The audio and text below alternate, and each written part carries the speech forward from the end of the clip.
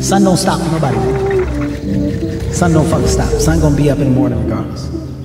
That sun is gonna be up in the morning regardless. Regardless of how I fucking feel and how depressed I am, the sun is gonna fucking shine in the morning. And at nighttime, the moon gonna be there. And you gonna look up, these days gonna keep going by.